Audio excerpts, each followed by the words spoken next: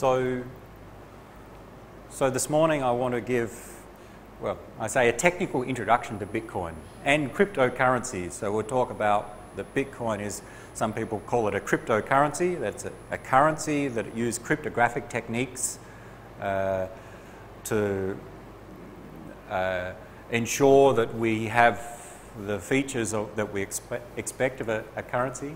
We're going to focus on Bitcoin. There are others, but Bitcoin's the most popular. We'll mention some others towards the end. So we try to explain, well, what is Bitcoin? But I'm going to focus mainly on the technical aspect of how it works. And towards the end, we'll go through and look at some of the, maybe the financial aspects, what it's worth, uh, how to make money, how to lose money, and uh, some other issues.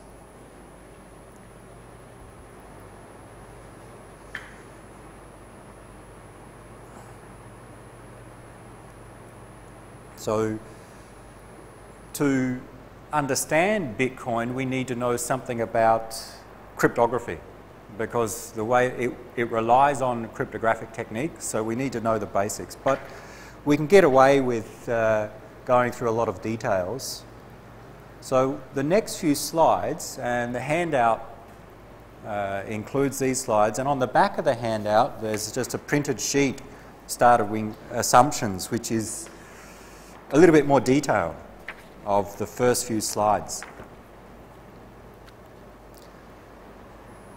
Some people have seen it before, they've sat in some of my courses and we've gone through this before. But let's look at the cryptographic principles that we need to understand Bitcoin. And we'll not look at all the things that I present in these next few slides, just go direct to the ones that are needed. So we're clear on the assumptions. Actually, I've got and we've mentioned this before, but not in much detail, that cryptography, to encrypt things, we've got the, the original approach called symmetric key encryption. I want to encrypt some data. I use a key, a secret key. I encrypt it. I send the data to you. You use that same secret key to decrypt. That's symmetric key encryption. This is just some notation that we may see. We don't use that in Bitcoin. Don't care about that today. Uh, so there's another form, public key cryptography. And we did see that a little bit last week where we used email encryption using public key cryptography. In here's, so let's say about that this, because it is used in Bitcoin. Each user has a pair of keys. So everyone in this room has, let's say you have your own key pair. And one of them is called the public key and one's called the private key, PU and PR. As the name suggests, the public key you, tell it, you can tell anyone. You can make it public. The private key you keep secret to yourself. If you don't, then it's no longer private and it's no longer secure.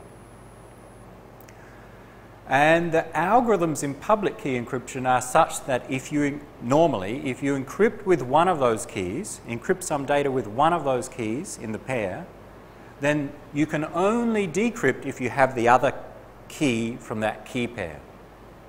Okay? Not all algorithms have that, but that's uh, common. That in either direction, if I encrypt with a public key of a particular key pair, I can only decrypt using the corresponding private key. And similar the other direction, if I encrypt with a private key, I can only decrypt with a corresponding public key. Okay, so that's common with some algorithms. And we use those features to provide confidentiality and also signatures. So what do we mean by them? Confidentiality, I want to keep my data secret. I want to send it to someone so that no one else can see the contents. Only that recipient can see it.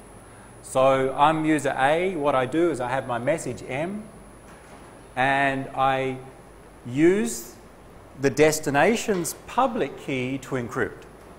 Okay? So I want to send Sam a message confidentially so that someone else cannot intercept. What key do I use? The public key of who? Of Sam. Okay, so if I want to send to Sam, I, I encrypt using Sam's public key.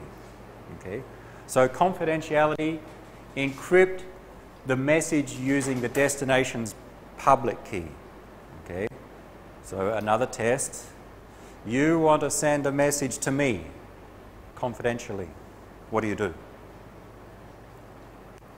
Encrypt using, so yeah, correct. So you encrypt, and when we encrypt, we use a key. Which key? You want to send it to me. You use the public key of who? Of Dana, of you, of me, or of me, okay? So that's, that's all we need to know. How that works, well, the algorithms that uh, implement that, you need to study them to see why it works, but it works. You encrypt with the destination's public key. The only person who can decrypt is, of course, that destination because only they have the private key. Okay, so that's the concept. The other feature, and, and commonly used uh, public key cryptography, is to provide a signature. Here we don't care if someone sees the message. What we want to be sure that someone, a particular person created that message or generated that message. And we can verify later that it came from that person. We want to sign something. That's the idea. Here we use the keys in the opposite direction and the person who wants to sign something encrypts the message using their private key. I have a message, I encrypt it using my private key, I send it to whoever, to everyone, to a particular person. Can anyone read the message?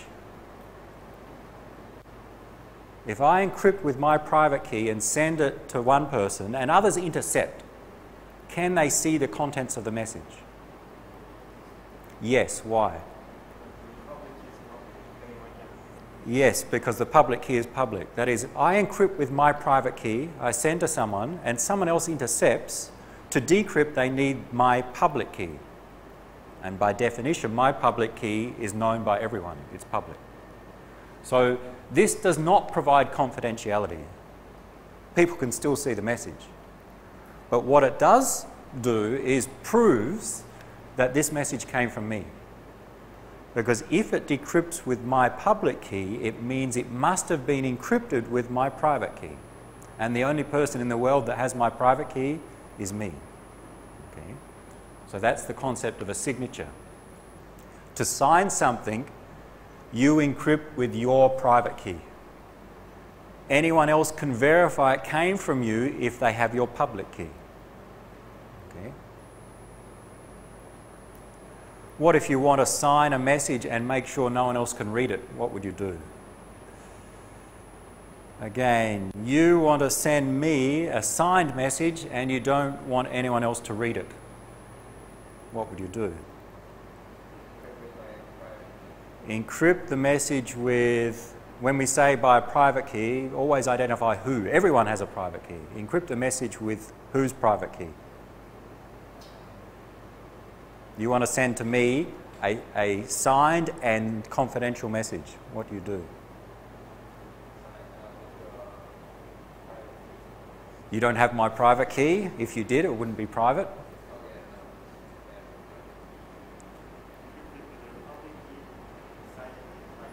Yeah, if you want both of these features, signature and confidentiality, just use them both. That is, encrypt the message with my with my, the destination's public key for confidentiality, and also encrypt using your private key for the signature part of it. So they're two separate features, two separate operations, and we can do both of them if we like. In Bitcoin, we're mainly going to use the signature part. So what you should remember is that if you encrypt a message with your private key, we say it's signed. And people can prove it came from you. Okay?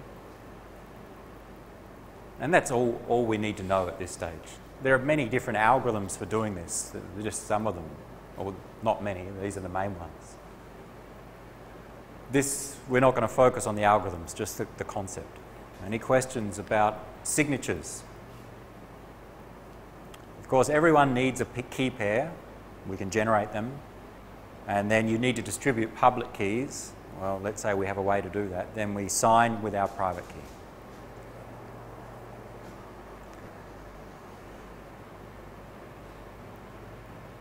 Another thing that's useful, very useful, and is a, an important part of Bitcoin is hash functions. Everyone knows hash functions from some data structures course, maybe.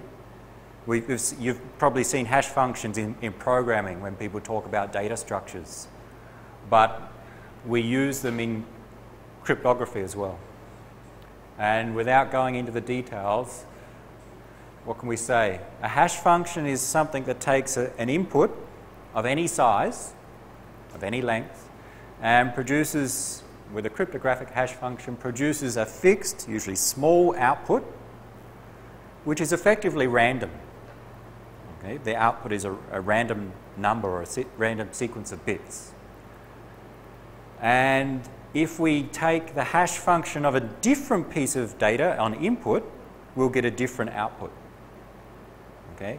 You hash one file, you get some random number as an output. You hash a different file, you get a different random number as output. Okay? And these outputs are usually uh, small, hundreds of bits. And it's a one-way function in that if you hash some input and get a hash value as output, that's going one way in the function. Going back, taking that hash value and finding the original input is hard or impossible. Okay? That's given a hash value, so let's summarize this notation. A hash function is some function that takes some variable size input, some message m as in, and it produces a fixed size, usually small output value called the hash value or the hash. And I denote that as lowercase h here. So the hash of m equals h. If you know the hash value h, you won't be able to find the message m. That's this one-way function property. That's this second one. If I give you the hash value but say, say nothing about the message, it'll take you forever, so practically impossible to find the original message. But if I give you the message, it's easy to calculate the hash value. Easy going in one direction, hard going the other direction. Uh, some other properties, um, if I have a hash value well, we won't cover this. We'll simply say that two different messages will always produce two different hash values. It's usually true in practice, but maybe in theory it's not true. Okay? But for the cases we'll deal with, it will assume it's true that if you hash two different messages, you'll get two different hash values. Okay? Some examples you may have seen in different occurrences or different places MD5, it's a hash function. SHA, the secure hash function. SHA-1, and there's SHA version 2, and some other hash functions. Okay, so there are different hash functions. And we'll assume that they have these properties of one way only and two different inputs to get two different outputs. Where have you seen hash functions? Apart from on this slide where maybe you've come across them in the internet or in computing where when you download the file you can check that the file that you downloaded is the correct one. Why would it be incorrect? Maybe the download didn't download everything okay? Or maybe there was someone malicious in between you the, between you and the web server that changed it along the way so you go to some website to download a file, and on that website, they'll publish the hash value of the file. Okay? So there's the file, the link to the file, and the hash value, the MD5 or SHA hash. What you do is download the file. Once you've downloaded the file, you calculate the hash of the file you have and compare it to the one on the website. If they match, it means you've got the same file that the web server had. If they don't match, if the two hash values are different, it means the two inputs were different, which means the hash, the file at the web server and the file you have is different. Okay? So you'll see it with that purpose of That's mainly for error detection, to check that the file you received has no errors in it. Uh, some examples. I have four files on my computer, EX1 through to EX4. So the first two are text files and the other two are binary files. Looking at the first two, they're 23 bytes in length, same length. Okay? Are they the same file? Well, how do you know? You need to look at the contents of the file. Uh, so EX1 is just a, a text file with a, a, simple message. Hello, this is a demo. So it's just a, a, ASCII file. Length is 23 bytes. Okay, there are 23 characters if you include the, the new line. We can calculate the hash. And I have a, a program called SHA-256-SUM. A hash is also called a checksum. So the program, SHA is the algorithm. There are different variations of SHA. There's one that produces a 256 byte, 256 byte, 256 bit output. Okay, so if I use this program on that file, it will calculate the SHA uh, hash value. There it is. Okay, this long in, in hexadecimal. Uh, if you convert that to binary, there are 256 bits there. That's the hash value of the contents of the file. Not the file name, the contents of the file. So it, this program took this text, applied the SHA algorithm, and produced the 256-bit hash value. And example 2, is it the same as example 1? Oh well, if you can't see, let's calculate the hash of example 2. Different. If you notice that it's the same text except I change one letter, is to it. Okay, so two different inputs produce two different hash values as output. See, do you see any structure in these hash values? Patterns? They are effectively random. Okay? There's no relationship between these two. Even though the inputs are very similar, there's only one byte that differs in those inputs, the outputs are completely different and random. Okay, so that's what we'll assume hash functions produce random outputs. If we hash the same file again,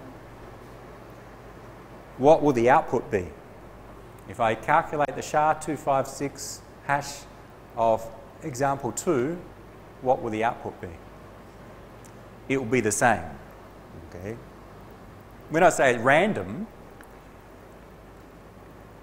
it's not, it's not just generating a random number, but it produces a random sequence of bits such that if, if we take the same input, we'll always get the same output. Okay, that's important. So these two are the same because the input's the same, but when the input's different, we'll get a different output.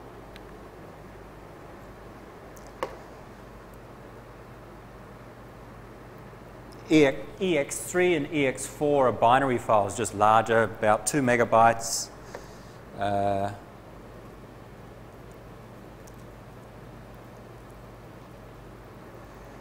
just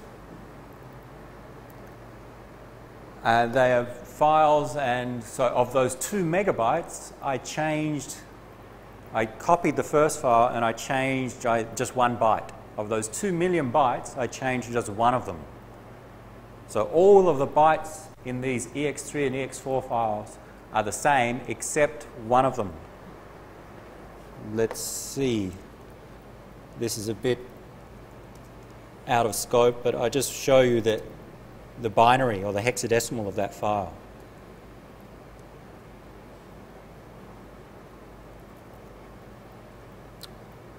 What I'm showing is the first 64 bytes of EX3 and then the first 64 bytes of EX4.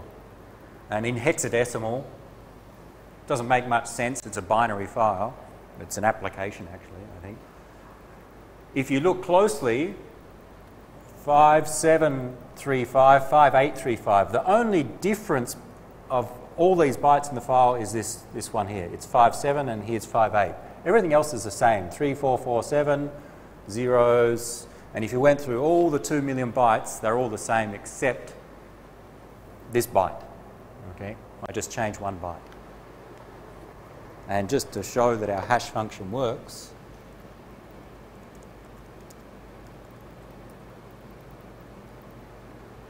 again, hash of EX3 is this C1, 1, C7, da, da, da. hash of EX4, which is almost the same as EX3, is completely different. Okay? Just random hash values with different inputs. Questions? So really for now all you need to know is that to sign something we use our private key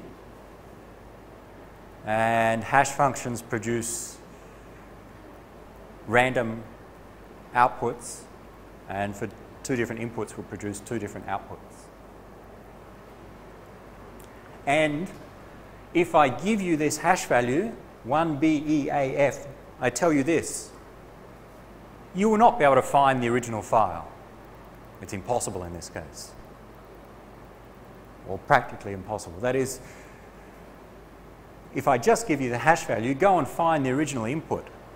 We say that's practically impossible to take the hash and find the input. I think that's set us up for Bitcoin. Digital signatures, we've basically said in practice, digital signatures, we said we use the private key. Or in practice, we hash the message first, but not important, I think. That's random numbers. We're assumed that we've got good random number generators. There's an entire topic on how to implement random number generators in a computer, but that's not for, for this. So there's nothing more to say. Uh, attacks, again, that's not relevant. When I say that we have a private key, we assume that that's kept private. If, if, you, if you've got a private key and you tell someone else, then all of the conditions that we're, we're building Bitcoin upon will not work. Okay? It must be kept private. If it's made public, then things fail. The security of things fail.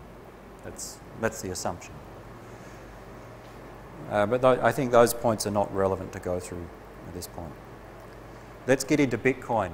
And if there are questions which come back to these cryptographic principles, we'll, we'll return to them if needed. What I'll do to try and introduce Bitcoin is go through a simple example of how we transfer money between people using a bank. And then look at, well, how do we do it using Bitcoin? Because we'll see that Bitcoin tries to be a, a, decentralized currency, a decentralized payment system, really. A payment system is something that we can transfer money to someone else, pay someone. With banks, we can think, think of them as centralized systems. So the bank is this central point which all our payments go via. I want to transfer money into your account. Well, that transfer is actually via banks.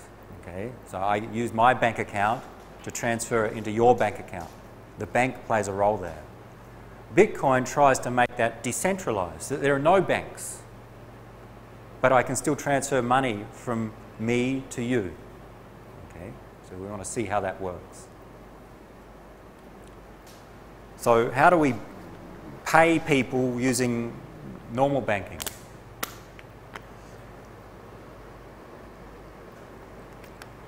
And we'll just use a simple example.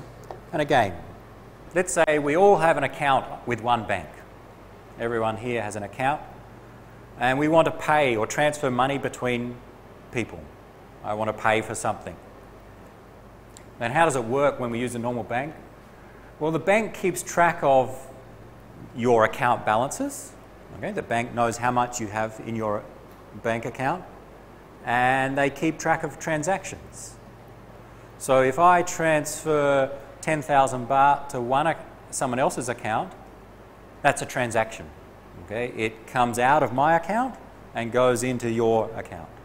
Okay? So the bank has a record of that transaction, and from that transaction, they know that my balance has gone from 100,000 down to 90,000, and the destinations account balance has gone from 10,000 up to 20,000.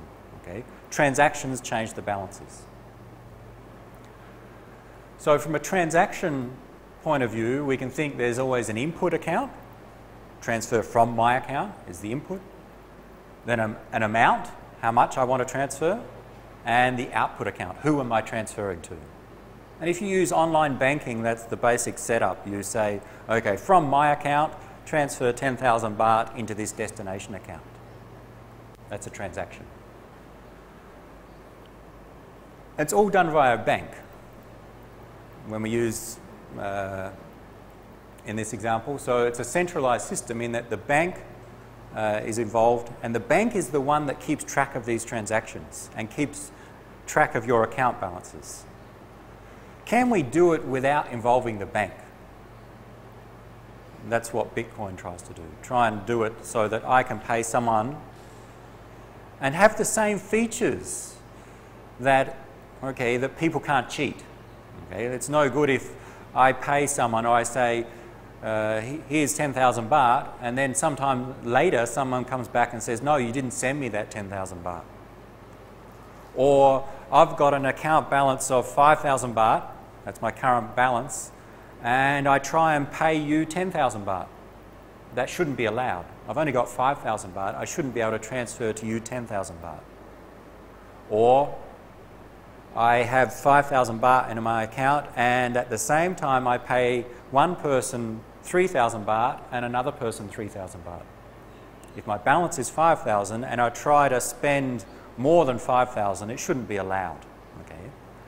A bank keeps track of those your account balance and those transactions and prevents that from happening.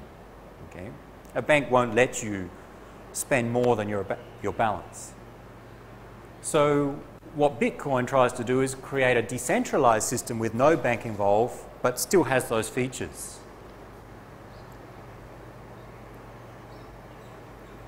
Let's go through and look at transactions and then we'll move and see how that's implemented.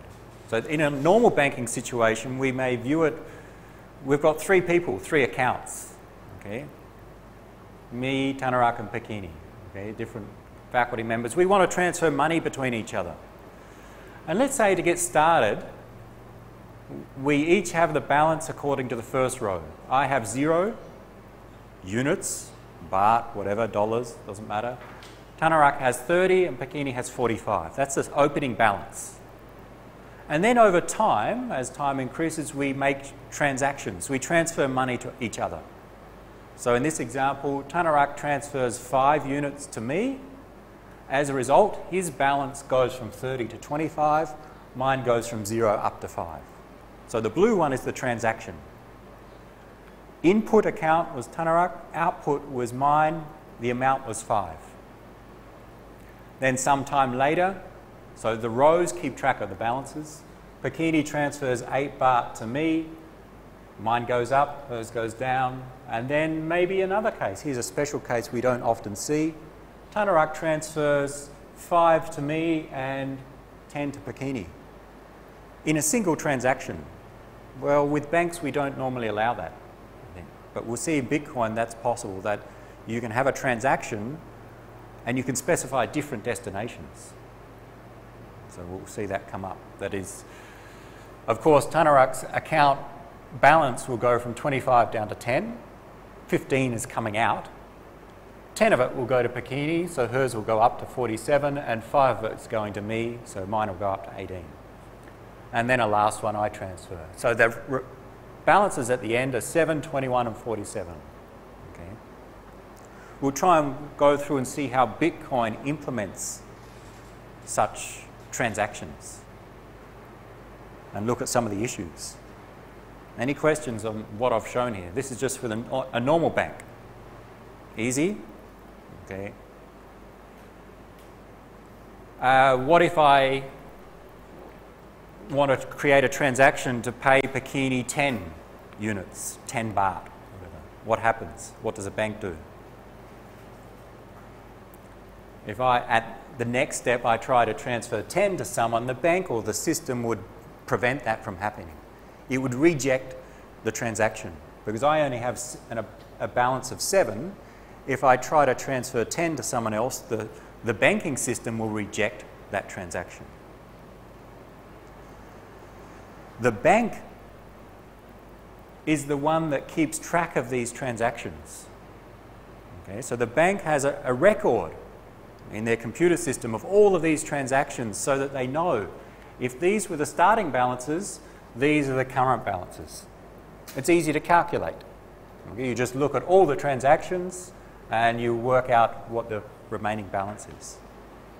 That record of transactions is sometimes called, or is often called, a public ledger or a ledger. A ledger is just a record of these transactions.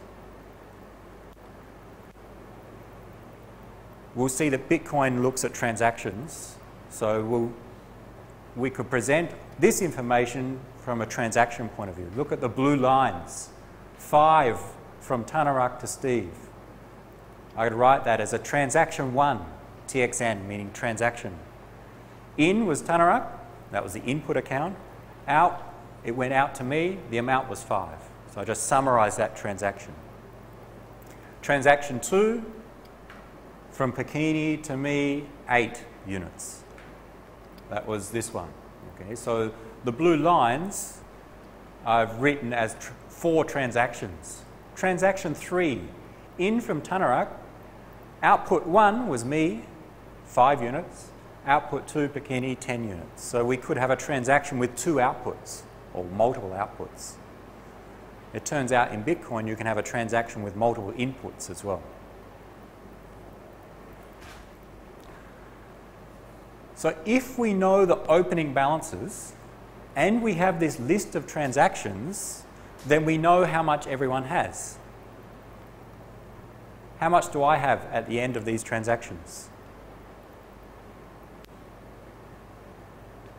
Well, from that, I start with 0, out to me 5, so plus 5, out to me 8, so I'm plus 13, out to me 5, I'm 18, in from me, that is, I'm spending, minus 11, so 18 minus 11, I've got 7 units at the end of these four transactions. So we can, if we have the list of transactions and we know the opening balance, then we know the current balance. And what we'll see in a decentralized payment system is that, and in Bitcoin, we record all transactions that ever occur. And there's a public list of all transactions. So if everyone knows this list, then everyone can work out what everyone else has. Okay?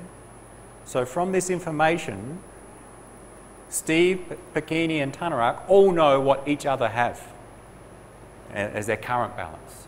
Therefore, if, if I try to send 20 baht to Pakini, she will not accept that because she can determine that my current balance is only 7 baht or 7 units. So if you know the list of transactions, you can provide these features of a bank that is working out who has what and stopping people from double spending or overspending. Questions?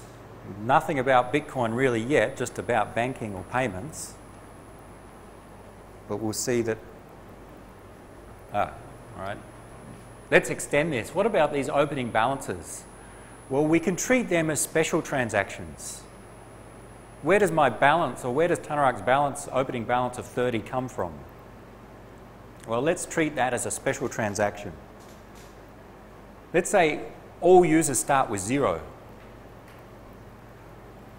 But if everyone has zero, then we cannot transfer anything. Okay? So what do we do? Well, somehow we need to create money. All right, we'll talk about how in a moment. But let's say somehow we magically create money and we say a transaction was there was no input, but the output was Thanarak of 30 units. So I'll record that as a transaction. Let's think of that this creation of money. Uh, How do we create money nowadays? How do we create it in the past? Anyone from America here? What do you do before? What did the Americans, uh, and you see it in movies or popular, what happened, I guess, in California, I don't know when, in the 1800s? A gold, so there was a, really a gold rush. People discovered gold. Okay, so what happened is that people found gold in the, in the ground. What did they do? And other things, so they, they mined the gold and then I guess what they would do is they take that piece of gold to a bank, and the bank puts into their account the value of that gold. Okay? I find a piece of gold in the ground, I take it to the bank, and the bank says, okay, this is worth $1,000. So now my account balance is $1,000. My account balance was initially zero, but I mined and found the gold, took it to the bank, and the bank treats that as some, some value of, say, $1,000. So this is this initial transaction of how we created money in the account. And there are other uh, examples, but that's, let's assume that's what we do and what we'll do in Bitcoin. That there's some process that we can create this initial money. And we'll treat that as a, as a transaction, a special transaction where there's no input. We don't transfer money from someone's account, we just create it so that Thanarak gets 30, Pakini gets 45. 3 through to 6 are the same as 1 through to 4 here. I've just introduced these two transactions. In Bitcoin, we'll see later, these are referred to as coinbase transactions. These create new coins, create new money, and it happens via mining. So we'll come back to see how they work. So now, if we assume all users start with zero and we have a list of all transactions, then we know everyone's current balance. And if we know everyone's current balance, then we can do things like detect if someone's trying to spend more than they have. Okay? Which is the feature we want in a banking system or a payment system. So, we can think a bank stores this information. A bank, when you go and create an account at the bank, you deposit your 30 baht, then think of that as transaction one. You put some cash into the account, so the account now has a balance of 30. It started at zero when you created it, you deposited money, it's now 30. So they record that transaction and they record all the transactions of transferring money from one account to others. Therefore, given this information, the bank knows that what the current balances are. So the bank effectively records this log of transactions. We want a decentralized log of transactions. Instead of the bank records it, it's not recorded in one single place, but it's recorded everywhere by everyone. So we don't rely on the central bank. So we get a decentralized log of transactions. Instead of the bank storing this list of transactions, this list of transactions is stored by everyone. I have a copy, you have a copy. Everyone in the network has a copy of that list of same transactions. And we'll see the way that works is that let's say now we have a network of users who are going to use Bitcoin, for example, a group of people who want to use it. Then, when you want to create a transaction, you want to pay someone, you create a transaction and tell everyone else that transaction. You inform everyone in the network here's a transaction, transfer five from Steve to Thanarak. Then everyone else in the network will verify that transaction. And verifying means performing some checks, including making sure if it's a transaction for Steve paying Thanarak five units, to make sure that Steve has five units to pay. We should reject any transaction that uh, overspends or double spends money. That is, if my balance is 10 then I should be able to make any transaction that is up to and including 10. I shouldn't be able to pay someone 11. Okay? So the verification of the transaction is done by other users in the network. With respect to the previous transactions in the log.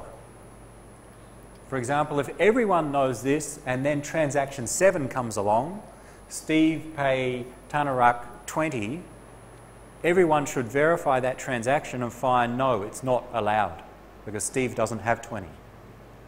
But if transaction 7 is Steve pay Thanarak 5, then it should be allowed because I have 5, more than 5 in my account. So a user creates a transaction.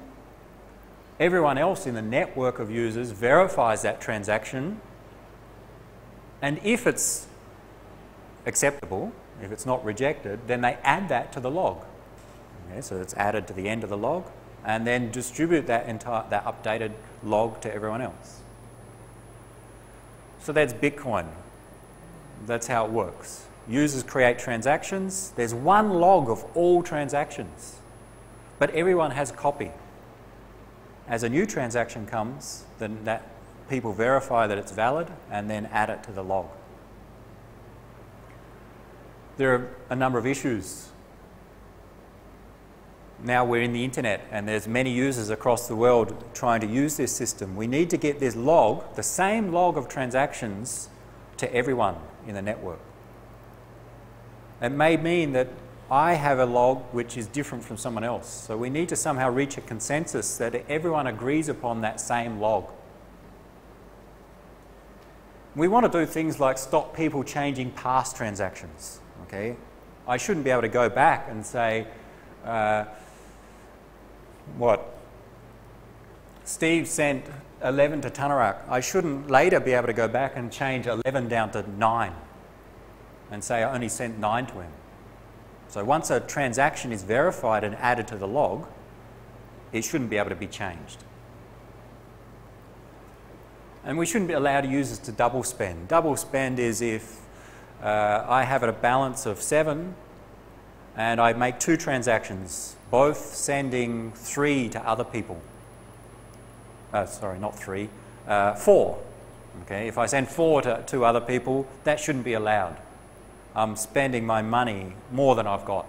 Okay, two times four is eight, but I've only got seven. So I shouldn't allow that.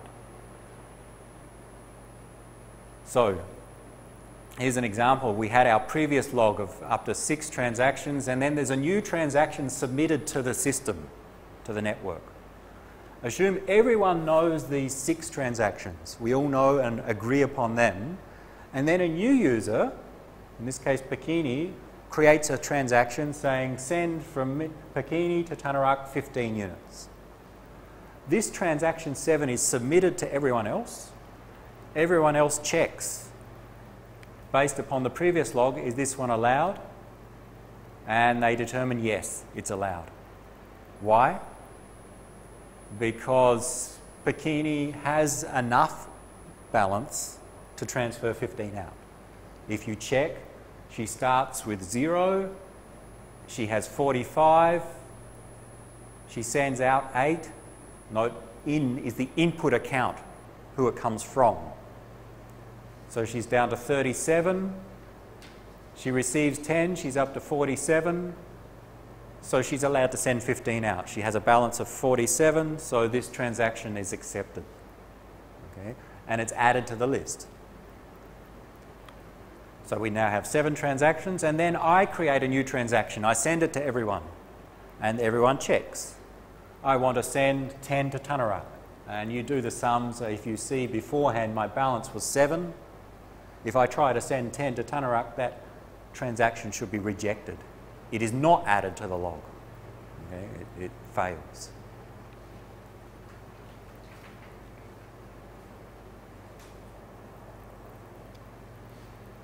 What if I go back and change transaction 6?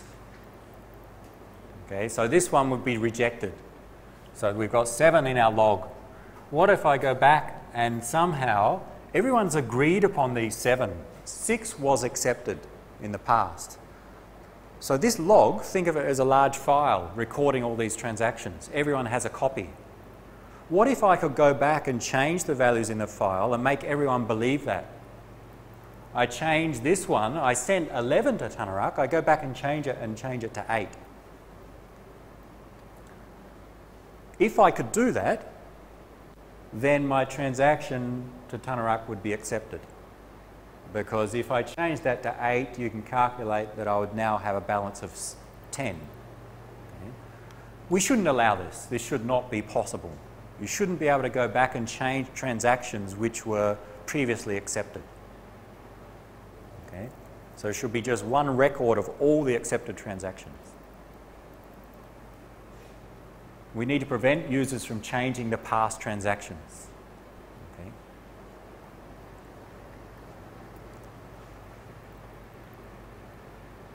Now, right, so that's one, one challenge we have. How do we do that?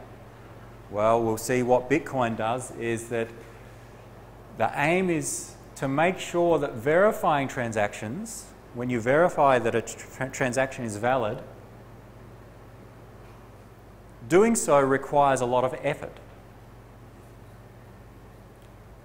And that once one transaction is verified, it depends, the next transaction depends upon that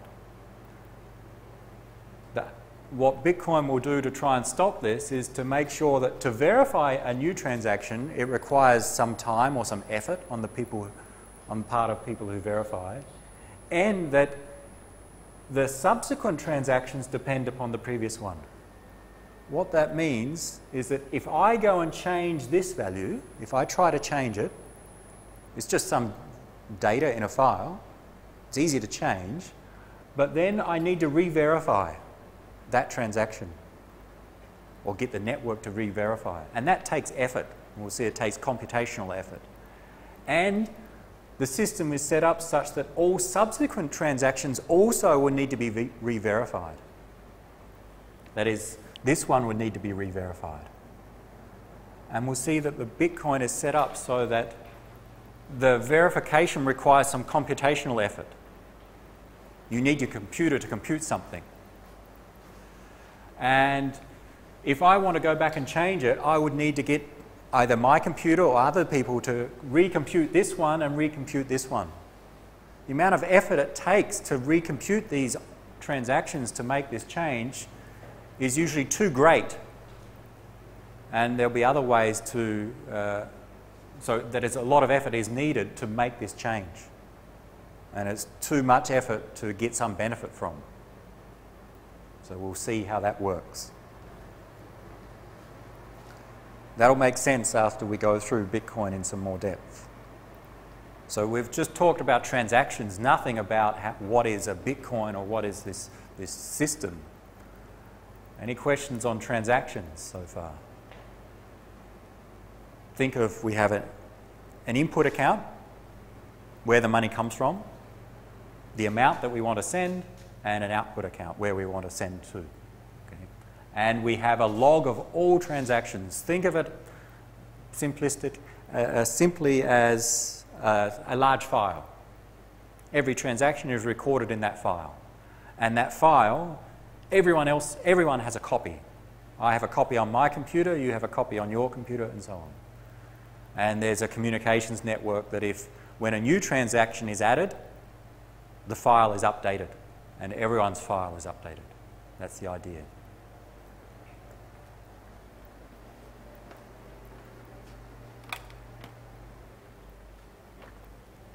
So let's see how Bitcoin implements this concept. So we can think of Bitcoin as a payment system, a way to pay, money, pay people, to transfer money from one account to another sometimes called a cryptocurrency or a digital currency, and even other things. The unit of currency or the accounts is Bitcoin, usually lowercase b, or BTC. So the unit of currency of my bank account with Bangkok Bank is Baht. The unit of currency of my bank in Australia is Australian dollars. The unit of currency in Bitcoin is Bitcoin, okay, or BTC. All payments are recorded as transactions, shortened as TXN. So everything's thought of as a transaction. And there's this what's called a public ledger. Which is just a long list of all transactions. This record of all the transactions that have occurred in the past. When a new transaction takes place, the user who creates that transaction sends it to everyone in the Bitcoin network. So there's a, a network of users. In practice, people run Bitcoin software on their computer, and when I create a new transaction, I want to send money to someone else, I distribute that transaction to everyone who's, or, or to, to the network. It's not necessarily everyone immediately, but you think of everyone else who's running the Bitcoin software. I distribute to everyone, and everyone else verifies and checks is this transaction allowed? Is it accepted or rejected? And if it's accepted, it's added to this public ledger, it's added to the list of trusted transactions. Users are identified using public keys, so now the first use of cryptography. In my Bangkok bank, my account, I have an account number, it's got my name on it, so my account really is identi identifies me. If someone wants to transfer money to my Bangkok bank account, what do they need? Usually just my account number. Okay, so if I, you want to send me money, I'll just give you my account number and you can send me money. Okay. In Bitcoin, users are identified using, their, using public keys. So each user has a key pair. Everyone has their own public and private key. If you want to send someone else money, you need to know their public key or some version of their public key. But you can have multiple key pairs. So I can create a thousand of my own public keys. Okay? I don't, it's not restricted to one per person. I can have as many key pairs as I like. I just generate them. Easy to generate on your computer. So if I want someone to send me money, pay me for something, then I just advertise my public key. And when someone wants to send me money, they get my public key and they will use that as the destination as who to send to. So think of accounts or users are identified using public keys. So on that, public keys. Yep. before a transaction is Mm. accepted, it will, it will have to be verified by, by everyone on the network. Yes, correct. So it will take some time. Like Yes. are millions of users on the network. So if I have a slow internet connection, uh, it will take time for. Right, so you're right. That is, I, I create a new transaction, pay someone a thousand Bitcoin. Okay, that's the transaction. I'm going to transfer them some Bitcoin. Then that transaction is, I'm just talking generally, sent to everyone in the Bitcoin network and they verify it. The verification takes time. Okay, it takes some computational effort to verify. And therefore, the person I'm paying so I, submit that transaction to the network. It takes time to be sent across the network and also, more importantly, to be verified. And therefore, the person who I'm paying shouldn't believe that they've got the money until it's verified. Okay? Let's say I pay Sam one Bitcoin and he's going to do some work for me. So I create the transaction, I send it to the network, it's being verified. Sam shouldn't believe that he's got the money until it is verified. So, yes, there's some delay from when the transaction is created until it should be trusted to be verified. It's not It's, accepted instantly. It's not accepted instantly. So, so then the destination has to wait. Well, it's up to the destination as to how long to wait. If Sam trusts me and he knows that Steve's not going to create a transaction that is, is invalid, then when I tell him I've sent the transaction, then he may, even though it hasn't been verified, he may believe that he's got the money and do the work. But if I've never met Sam before, he doesn't trust me, and I say, I send him an email, okay, transaction's been sent, then he may not, he may wait until there's some confirmation from the network. Okay, so how long do you wait depends upon how much do you trust the sender. And we'll talk about some rules as to how long to wait. So there are some some rules that your software will use to wait uh, before, if you think now you use software to keep track of your account balance, it's called a wallet, that account balance will only be updated after some time, after the confirmation transaction. Uh, yes, so we'll see the confirmation requires, uh, we'll, we'll, see that in a moment, or, or we'll see that later.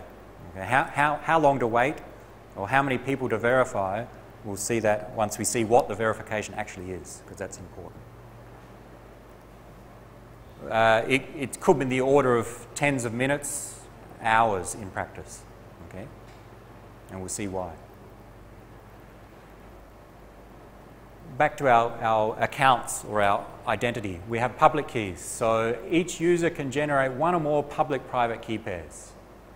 Okay? So it's quite easy, the software will do it for you. And you don't need just one, you can have as many as you like.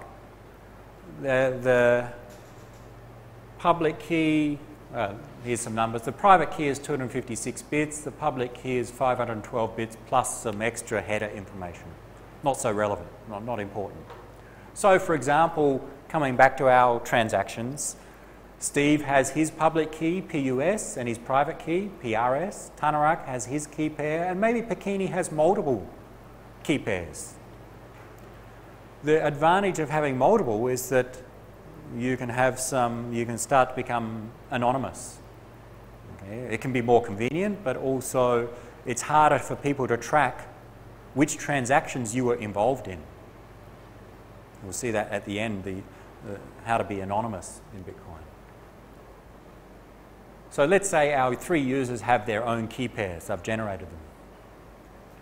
The public keys are actually hashed, really for convenience. So I have a public key which is 256 bits. That value is run through a SHA-256 hash and then some other hash fun function, RIPEMD-160. And the output is 160 bit value slightly shorter, a little bit more convenient to tell someone. But actually more convenient is that that public key hash is encoded into some a little bit easier format so that I can post it on my website or I can include it on, in an email easy. Because this public key hash, think of that as my account number. If you want to send me money, you need this value. If I write 160 bits in my email, it's likely I'll make a mistake and you'll send it to the wrong person. But so there's some way that the hash value is encoded so this has some error checking so that it's hard to make mistakes in, in that value. This is a Bitcoin address. Let's bring up some examples. I think I've got one. Uh, where? Just wait, I'll bring up an example.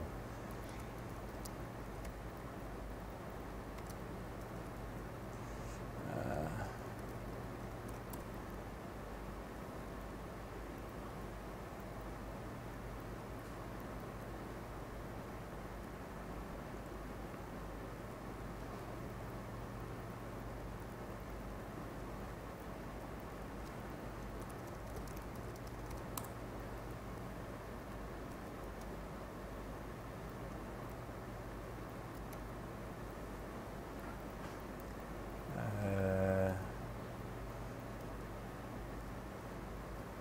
to search on a website. Be patient.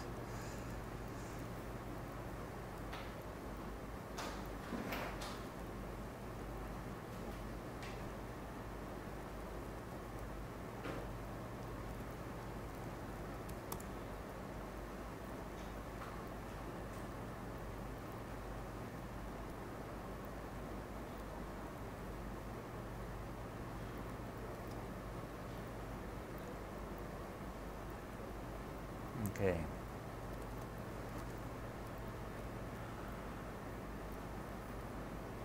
Just an example that has some hash values.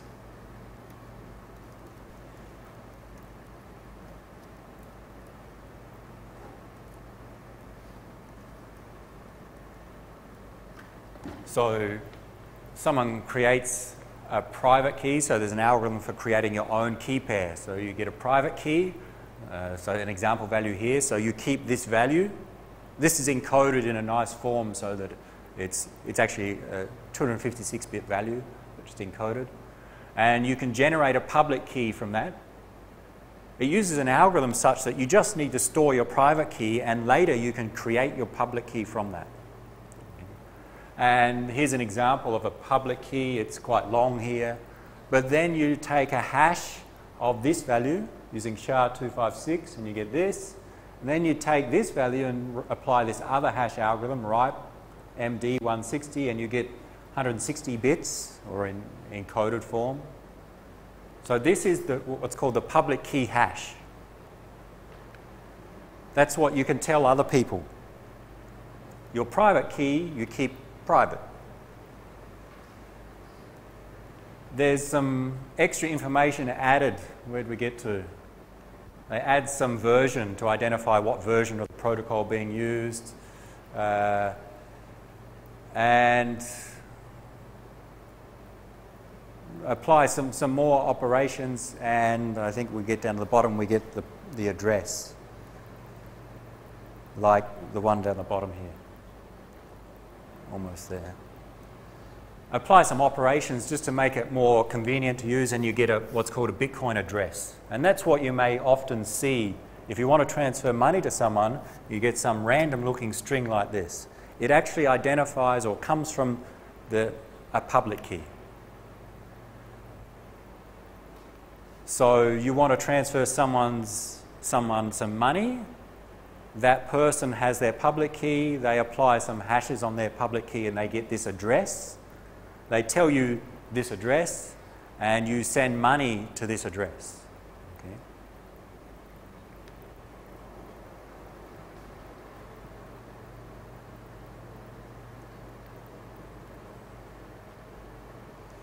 So transactions.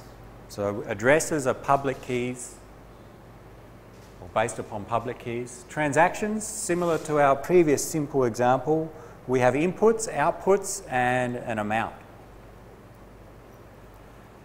Uh, in Bitcoin, so we have inputs, they identify where the Bitcoin comes from. And we actually may have multiple inputs. Normally, with a transaction, one person sends to one other person, we think. But Bitcoin allows uh, to send to multiple in a single transaction. And actually, we'll see allow multiple inputs to send to multiple outputs. It's hard to uh, explain until we go through, see how it works. There'll be some transaction ID, TXN ID. Uh, some of this we'll explain through example. The input will include the sender's public key. Okay? I'm sending to someone else, I'll include my public key. And I will sign the transaction data. When I create a transaction to pay someone else, I must sign it. And we sign using my private key. Okay? And that way, when someone wants to verify the transaction, they know it came from me because it was signed with my private key. And they can verify it came from me because they have my public key. Okay, so we use our public key cryptography to sign. The outputs will show where we're sending to. So a transaction will be send this amount to someone else. We'll come back maybe through examples see these exact fields. Uh, let's go. Here's our example transactions from before. Uh, I think we've seen it before, but I've just changed the notation. Okay, we may have multiple outputs. So transaction three was Thanarak sends to Steve five units. But a special thing in Bitcoin is that every transaction must spend everything that comes in. Okay. That is, uh, how's the example? Come back to one of the earlier slides. After transaction two, what is Thanarak's balance? How much money does Thanarak have after transaction two? After. So before 3, 4, and 5 have occurred, Thanarak has 30. Okay? So his balance is 30. When he performs a transaction, if we move into Bitcoin, he must spend all of that 30. The next transaction takes those 30 units, or 30 Bitcoins if we now deal in Bitcoins, and the next transaction has 30 coming in, and there'll be 30 going out. That's the rule in Bitcoin that everything that comes in must come out. So in the, our old bank view, he had 30 coming in, only five went out to Steve. Where's the other 25 in this case? Who gets the other 25? Thanarak. That is, that's his remaining balance. In Bitcoin, we must explicitly say that.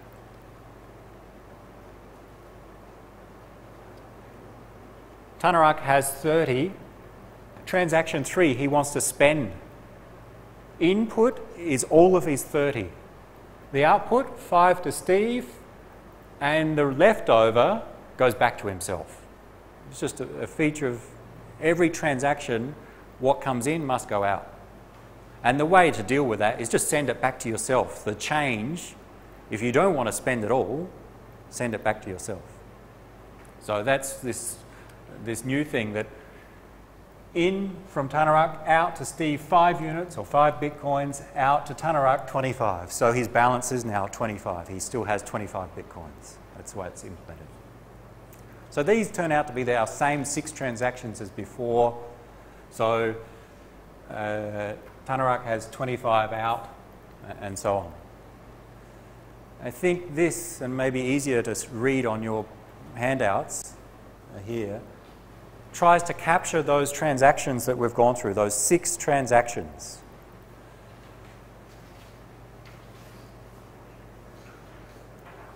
Uh, so we'll go through this and, and identify the notation that we start to use, and we'll see when we use Bitcoin. So these six transactions, TXN1, think of that as the ID for this transaction. So this rectangle I've showed, this was a special transaction. Nothing came in. This is where we created money. Okay. So there was no input. The output was 30 bitcoins and it was to Thanarak. And the notation I'm using, remember the destination address is actually a hash of a public key. So this was 30 bitcoins to Thanarak, and I denote that as the hash of the public key, and the subscript here is T, Thanarak's public key. This transaction says that 30 bitcoins goes to Thanarak. It's his public key, it identifies his account. This transaction 2 identifies 45 Bitcoin go to Pakini. P1 Pakini has multiple public keys she created, so P1 is one of her public keys. So hash of Pakini's public key identifies the destination address. Transaction 3, remember Thanarak wanted to send a 5 to Steve. So the input refers to the previous transaction. If Thanarak wants to spend money, he must have that money. And in Bitcoin, the rec record of logs, uh, the, the record of transactions refers to the previous transactions. So here we say the input for this transaction was transaction 1. Because transaction 1 says that Thanarak has 30, so the input to transaction 3 refers to transaction 1. We'll see some other information. The output will be 5 to Steve. So the hash of Steve's public key saying send 5 bitcoins to Steve. And another output send 25 to Thanarak. Let's think of that as the change. Thanarak has 30 bitcoins. He wants to pay me 5 because I did some work. So he creates a transaction that pays Steve 5, so using my public key, my address. And the remaining 25, the change of that payment, he sends back to himself. So he still has 25 left because all, all transactions must spend what comes in. So we talk about the input to a transaction and the outputs. The outputs identify who it goes to and how much. The input identifies the transaction where the money came from, the bitcoins came from. And Thanarak has 30 bitcoins. How does he get to spend those 30? Why can't someone else spend it? Well, the output of transaction one included the public key of Thanarak. So for him to spend it, he includes his public key in this transaction and he and effectively signs all of this data using his private key. And someone can verify transaction 3. Transaction 3 includes Thanarak's public key. It points to pub transaction 1. Transaction 1 was paying Thanarak. Someone can verify this because they can check. Using the public key from transaction 1, we can verify the signature The only person who can sign this transaction is the person who has the private key T.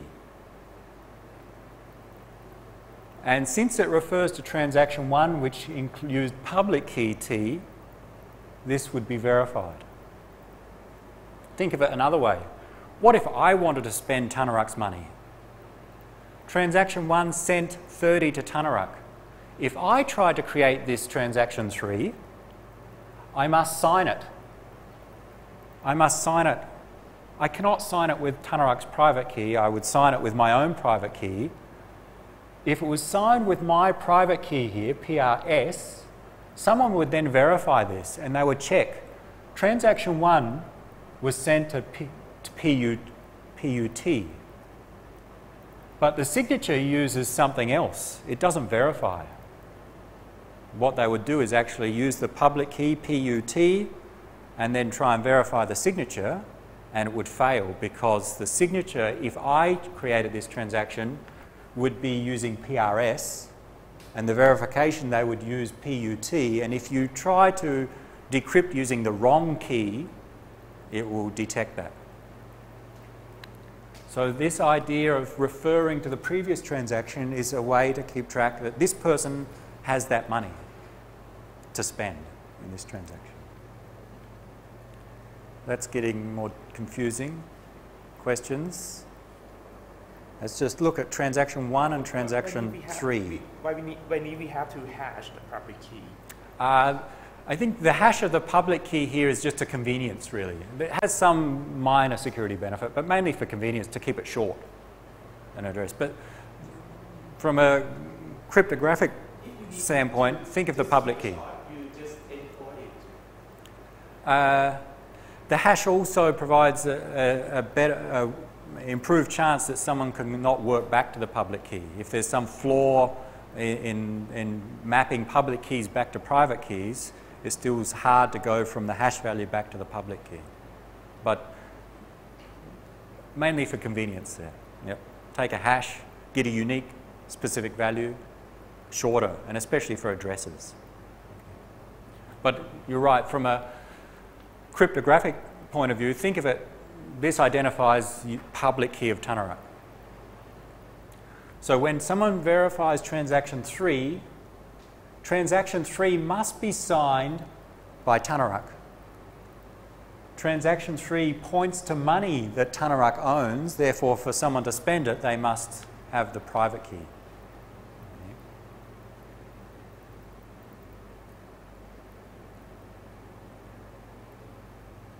So let's try another one. Transaction 4. Remember, transaction 2 was paying Pakini. It was sent to the public key of Pakini, P, P1 in fact in this case. Therefore, if Pakini wants to spend that money, she creates a transaction, TXN4. She creates this transaction referring to the one where she was paid money. And to prove that she is Pakini, she signs this using her private key. and someone can verify that it's the right private key because they know that transaction 2 used public key PU1, PUP1, and therefore it's signed using PRP1, it's verified to be matching. So this, this is an important part to say the person who created this transaction owns the private key corresponding to the public key that the previous transaction was sent to. Okay. This one sent to public key P1. To be able to spend that, you must have private key for P1. And that's what Pakini does here. She encrypts using the private key of P1 to prove to others that she owns or she's the destination of the previous transaction. And then she specifies where to send this, what was it, 45 Bitcoin to. She sends 8 to Steve, identifying using the public key of Steve, and sends 37 to herself. That's the change.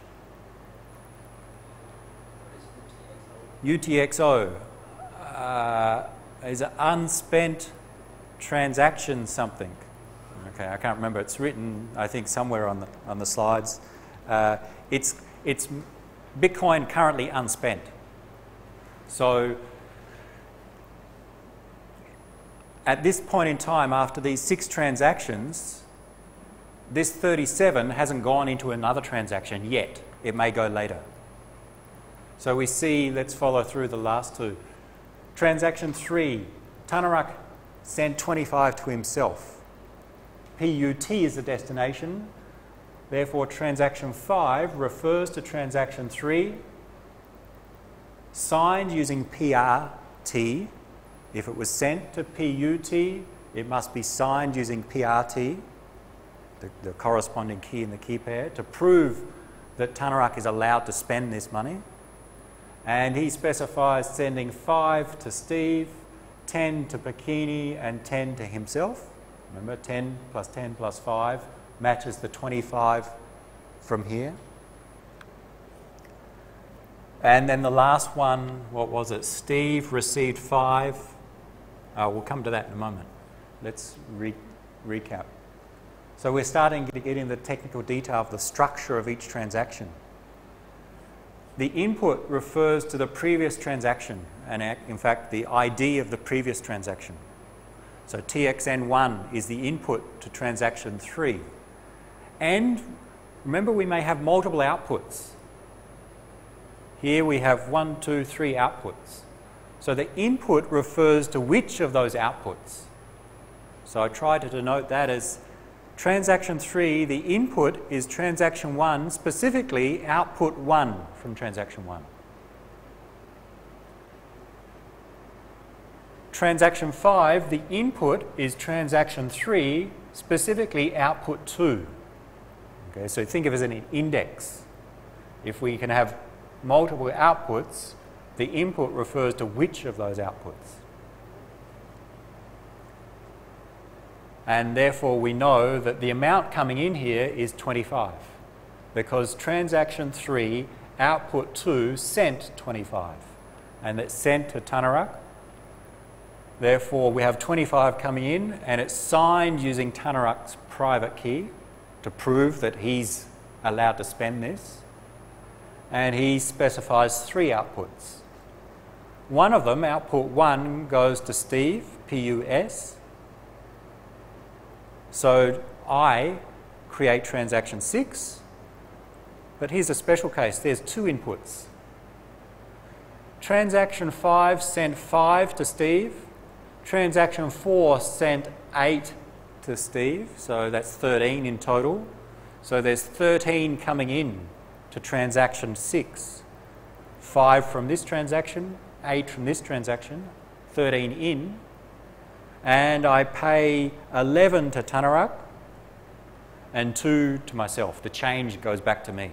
So it's like I've got 13 bitcoins, I give 11 to Thanarak, and the change, the, the two remaining, is kept for me. That's what this send to myself is. And it was signed using my private key, proving that I'm allowed to spend because the previous transactions referred to my public key. Almost there.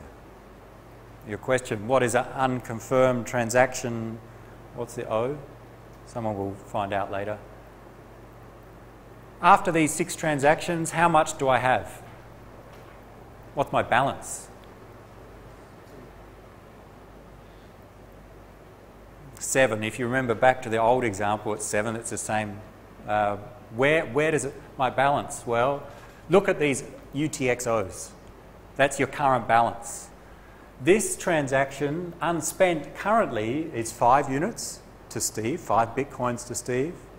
So I've got five here, and this is to someone else, Pakini, this is to Pakini, this is to Thanarak, and I have another two here, unspent. So I have seven. So my wallet would show that my current balance is seven Bitcoin. So it's the sum of all the unspent transactions. Of course, I may create a new transaction that starts to spend that. And I would specify the inputs and who would I send it to.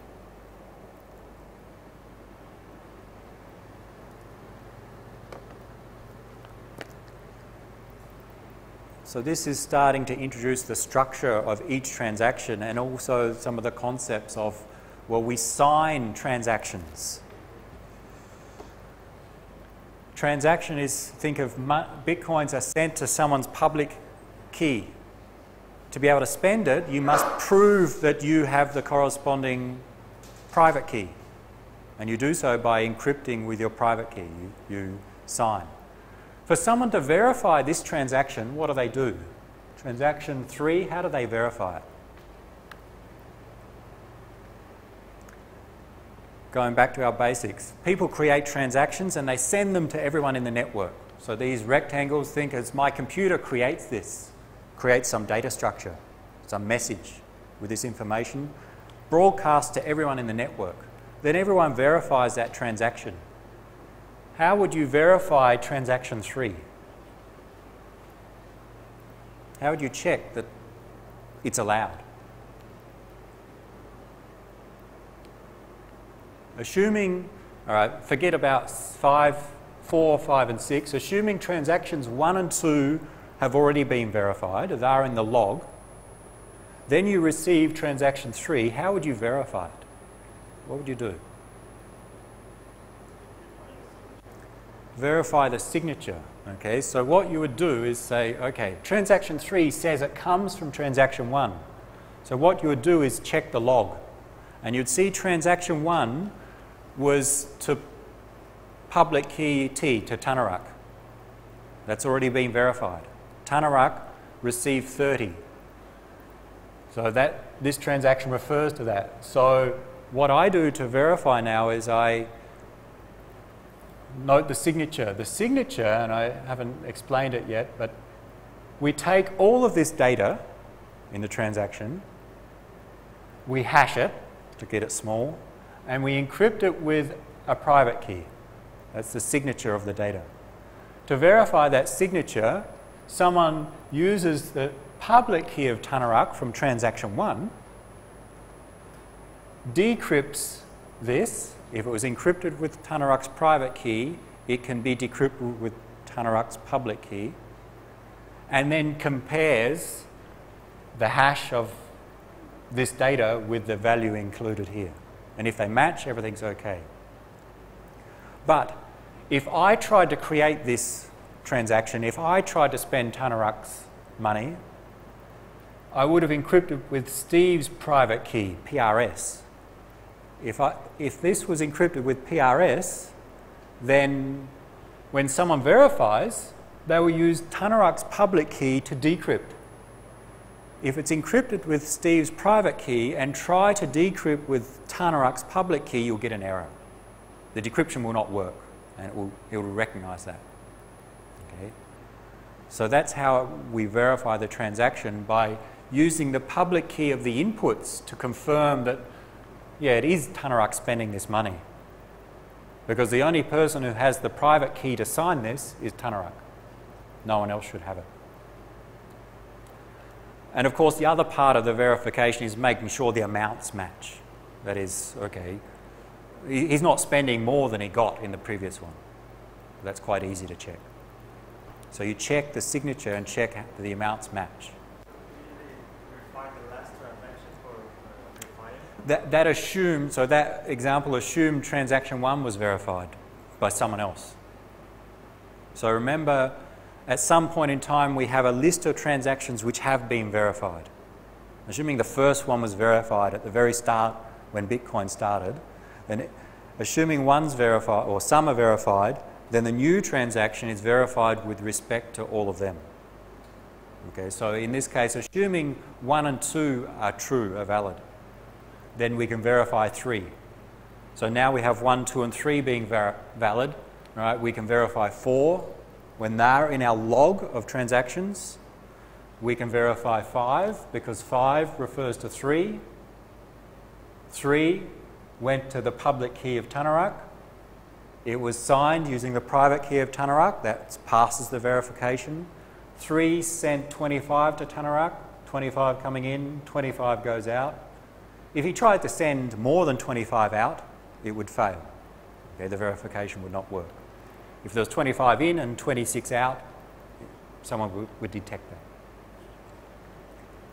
So then this would be verified, then eventually this one can be verified if the previous ones are verified. And, and we keep building up the log of verified transactions.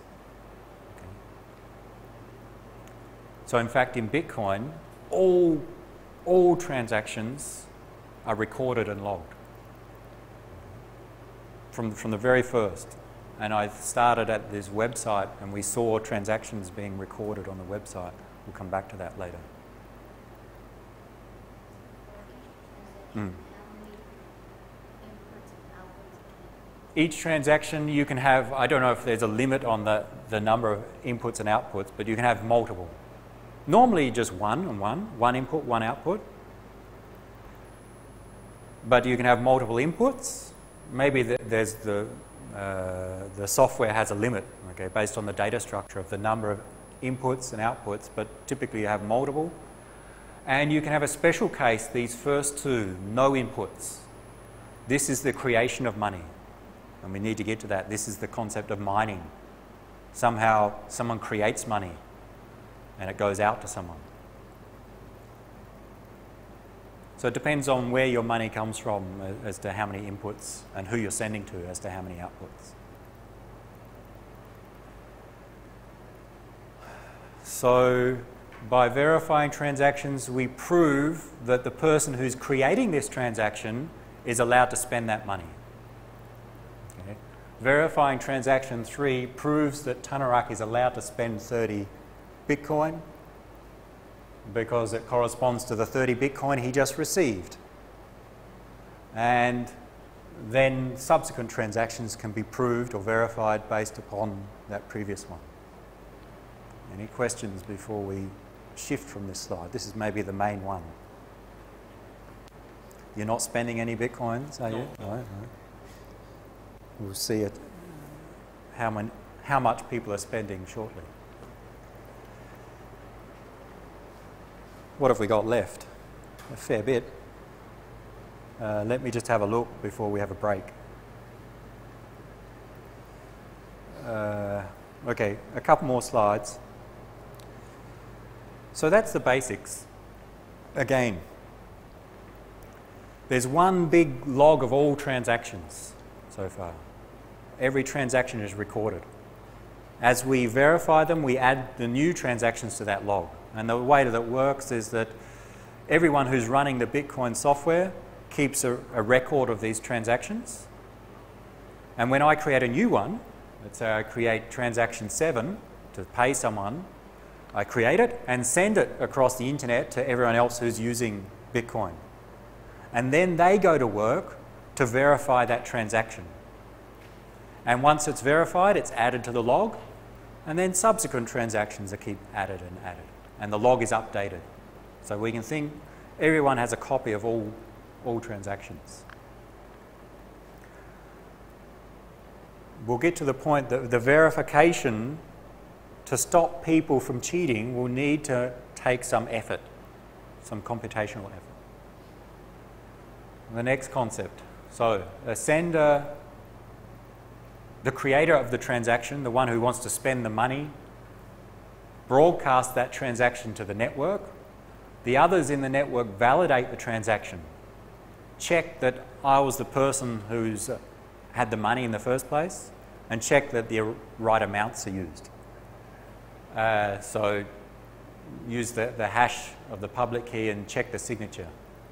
And once it's validated, they add new transactions to this public ledger, this public list of all transactions. Now, there's this new, new thing that this verification of adding transactions to this record of existing ones are done in blocks or groups of transactions. We don't do one at a time. We'll see that we can group a set of transactions into a block and there's some operation on that block that must be performed before all of those transactions are added to the log. Okay, so now we, instead of doing per transaction, we actually group a set of transactions and then operate on them. So called a block. And we'll see why in a moment.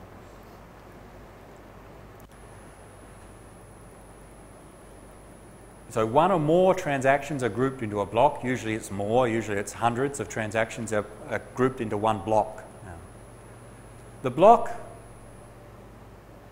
so instead of transaction, a, uh, a uh, pure transaction log, we now have a block log. Instead of uh, listing all transactions, we have a list of all blocks. And those blocks include the transactions. Uh, we'll see blocks, I think, the details of them. Uh, we'll see the details in a moment. What do we want to say here? So, a block refers to some transactions, and we'll see that once a block is verified, then all those transactions are verified or confirmed. And then we actually have a chain of, or a list of blocks the very first block contains the very first transactions using Bitcoin. When, once they were verified, then a new set of transactions that people submitted were verified in the second block. And that was added to the list, of blocks. And then new transactions came and they were verified. So the transactions verified in a group, they are added to the block. And we build up a chain of blocks and we get this blockchain. So now we operate in not just one transaction, but usually a set of transactions and call that a block. And the blockchain, because each block refers to the previous block, like a linked list. If you know about linked lists from programming, one refers to the previous element. It's the same with a blockchain. One block refers to the previous block. This is our public ledger. This is the record of all transactions because every block contains records of transactions. So everything that's verified is added to the blockchain. So we'll see that referred to commonly. So when you see a blockchain, it means all verified transactions, but grouped into blocks. The challenge to make sure Bitcoin works correctly is to make sure that, because we have it, the internet everyone has their own computers doing this verification. One challenge is to make sure everyone has the same view of all transactions being verified. Because if, if one person thinks these transactions are verified and another person thinks a different set of transactions are verified, we can start to get errors. And we can start to get cheating where uh, one person verifies transactions that says Steve spent uh, five of his six Bitcoin. And another person verifies a transaction saying Steve spent three of his six Bitcoin to someone else. And we get what's called double spending that one transaction says I spent three to Thanarak, another one says I spent five to Pakini. I only had six to start with. If both of those transactions are verified, then it says I spent eight of my six Bitcoin, which is wrong and not allowed. So we must make sure that the transactions sort of are, are done in the right order. That is, if, if one is verified that it says I spent five of my six, then the next transaction where I spend three of my six is rejected. if people have different views of which transactions have been verified, then this problem arises. So we must make sure that everyone has the same view of which transactions have been verified. Yep. We, we do the transaction, wait for one transaction finish, that another one do it, or? So, so the, the yeah. So how to do that is that you transact one transaction. After that's finished, then verify others. Remember, it's it's a distributed system, and what's happening is that uh, I I create two transactions. Send five bitcoins to Pakini. Send three to Thanarak. And I send them through the Bitcoin network, but I send them in such the way that the one, one of them goes sort of the, to this area of the network in the internet. So these people start to verify that transaction. And the other one goes to this group of people and they start to verify this one. And they don't know about the other transaction. Okay? It's a distributed system and not everyone has a complete view of what's happening. So that's the problem that this group are trying to verify one transaction that spends my bitcoins, where another group are verifying a different one. If they both are verified, then I spent more money than I had. We want to stop that. So if we have a bank and there's a single entity that verifies all transactions, then you can do what you say is you do one after another. But in a distributed system where there's entities everywhere doing things independently, then we cannot control that. Okay. How we control it is we make sure that the verification takes some effort. And some effort such that, okay, these people verify one transaction. If this group verify the other one, then eventually that will be detected, and then eventually we'll reject one of those. And that's where the blockchain comes in. That's uh, making sure all. So if we do get that case, and we can get that case where two people or two transactions are verified which are wrong, then there's quite a simple way to to remove one of them. So instead of talking about verifying transactions, now we'll talk about verifying blocks of transactions, a group at a time.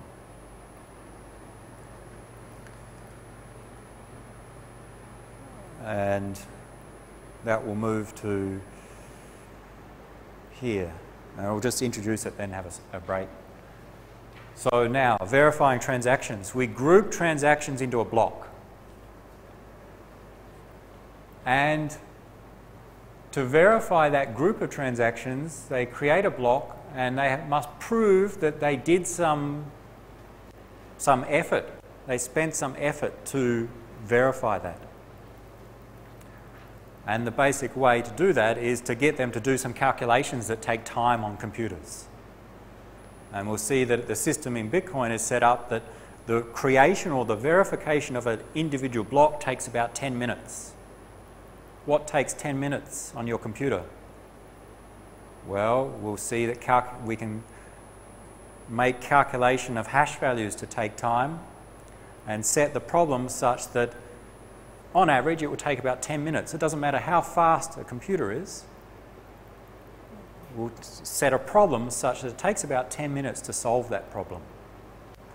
And the idea is that it takes 10 minutes of fast processing. The idea that one person will create, if we have two different groups trying to verify different transactions, one of them will win. One of them will verify this transaction first. Then they'll tell the others saying, We just verified this transaction. So, coming back to this case, Steve had two transactions, trying to double spend his money. This group is trying to verify one of his transactions, this group trying to verify the other. It takes time to do that. Turns out, by luck, or these people have faster computers, they verify one of them first. Once they verify, they tell everyone it's verified. This group, who was trying to verify the second one, ah, they realise one was previously verified, therefore they stop working on this one because they see it's wrong. So, So we introduce this timing in there. And it turns out in practice, even with delays across the internet, in practice, there are very, very few cases when two groups of transactions are verified at the same time. Okay? Because the, the verification requires some computational effort, and it turns out in most cases, if two groups of people are working on verifying different sets of transactions, one of them will get there first and tell the others, and the others will stop. So that introduces this ordering into the system. It's possible in theory that they both finish at the same time. But even then, the next case of verifying transactions will identify and reject one of them. Okay. Let's stop for five, five minutes, answer any questions. Uh,